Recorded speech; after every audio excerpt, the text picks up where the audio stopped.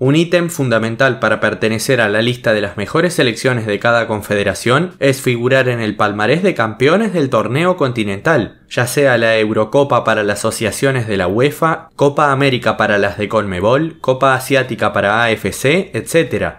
No haber ganado nunca el torneo regional supone una espina para aquellas que se quieran codear con las grandes, en este video voy a comentar sobre la selección más importante que jamás ganó el título continental de cada una de las seis confederaciones. Aclaro que solo se tiene en cuenta al torneo más importante, descartando copas de segundo orden. Meses atrás publiqué un video similar pero sobre la mejor de cada confederación que no fue a un mundial. Van a poder encontrar el enlace abajo por si lo quieren ver.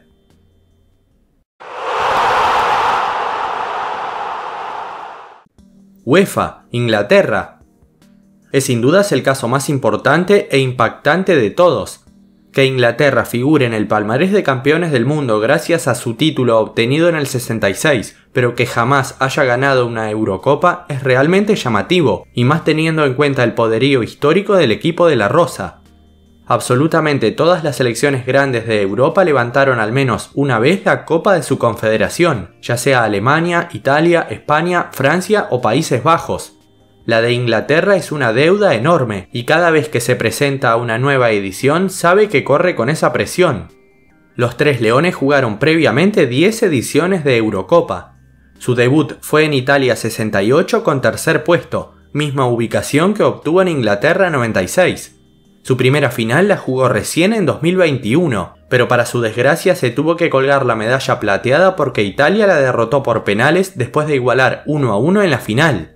Para colmo, en ese certamen Inglaterra se despidió invicto y con apenas dos goles en contra.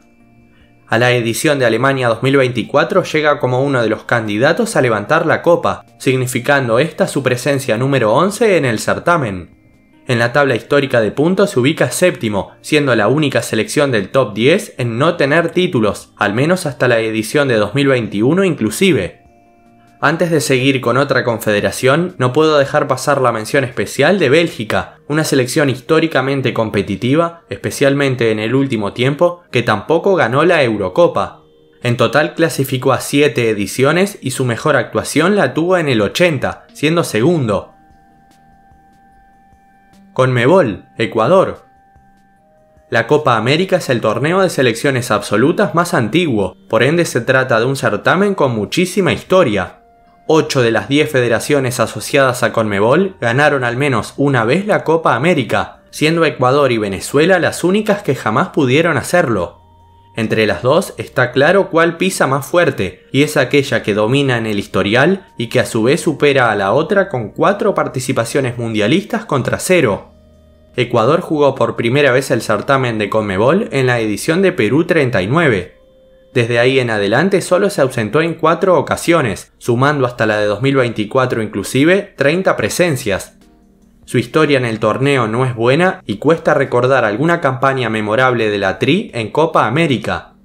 Para remontarse a sus dos mejores posiciones históricas hay que ver las ediciones de 1959 número 2 y de 1993, ambas disputadas en el propio Ecuador.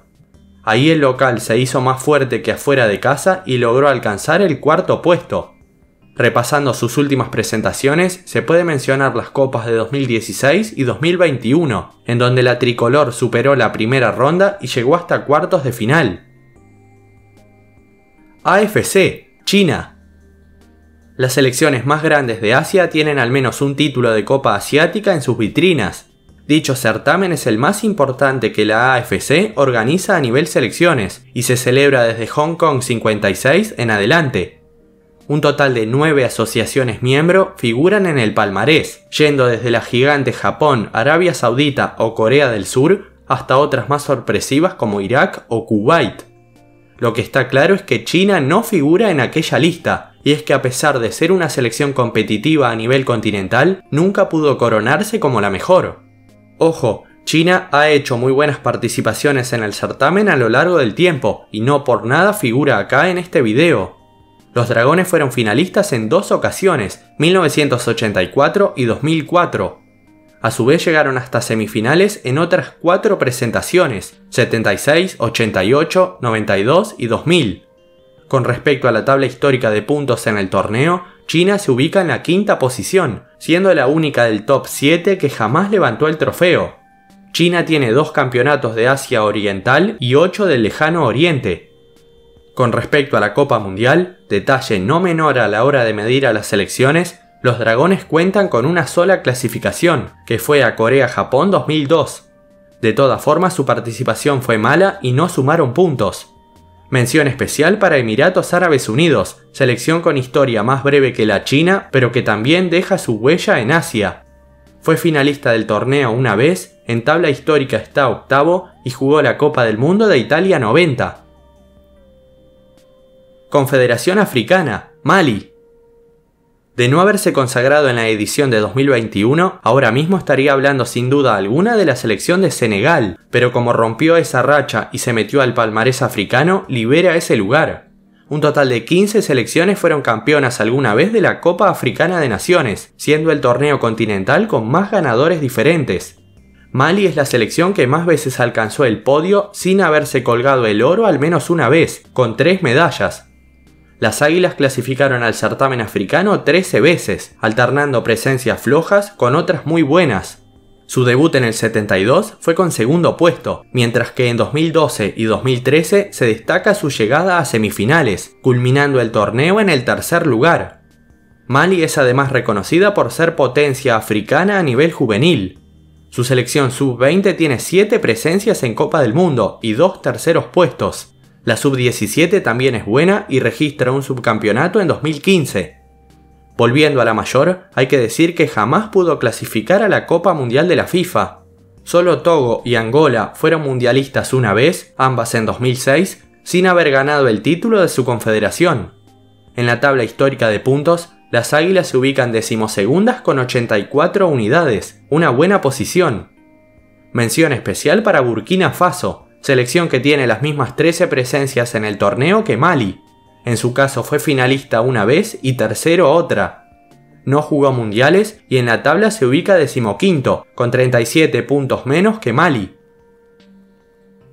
Con CACAF, Panamá, de todas las selecciones que alguna vez quedaron entre las dos mejores de la Copa Oro, pero que a su vez no la hayan podido ganar, ya sea con el antiguo formato o el actual, no hay ninguna que supere en número a las de Panamá, que fueron tres.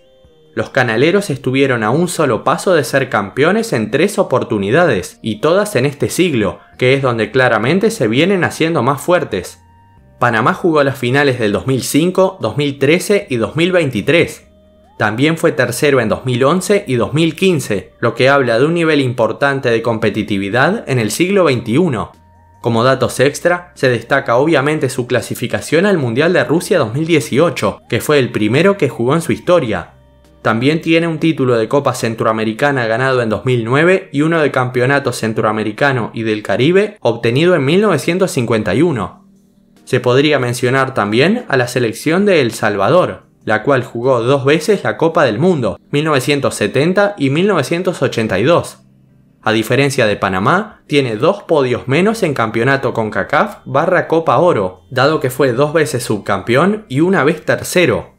A su vez, está por debajo de los canaleros en el historial directo, 18 victorias para Panamá contra 13 de El Salvador. Este siglo se estancó bastante. OFC, Nueva Caledonia, Cerramos el video con la Confederación de Oceanía, considerada la más débil de las seis, además de tener una escasa cantidad de afiliados, 13. Está clarísimo que el rey es Nueva Zelanda, aunque también hay que destacar la presencia de Australia cuando aún formaba parte de esta y no de AFC como lo hace ahora. Las selecciones restantes están años luz de las dos mencionadas. Tahití fue la única que se consagró campeona continental excluyendo a las dos gigantes, y fue en 2012. La que más cerca quedó de hacerlo, pero que no lo pudo lograr, fue Nueva Caledonia, selección que alcanzó dos veces seguidas el subcampeonato. Les Cagus fueron segundos en la Copa del 2008, que fue todos contra todos, y llegó a la final en 2012 al eliminar en semis a la poderosa Nueva Zelanda. Su verdugo en la final fue Tahití, en un partido que podría haber sido la oportunidad perfecta para coronarse. Nueva Caledonia se ubica cuarto en la tabla histórica de la Copa de las Naciones OFC con 40 puntos, solo por debajo de los tres campeones.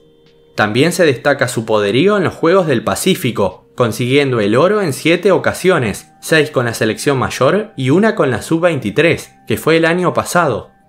De más está decir que jamás clasificó a una Copa del Mundo ni estuvo cerca de hacerlo. Muchas gracias por haber visto el video, espero que les haya gustado. Abajo me gustaría leer sus opiniones y de paso les pregunto si creen que alguna pueda romper la mala racha siendo campeón de su región alguna vez. Los voy a estar leyendo. Nos vemos la próxima. Un saludo a todos.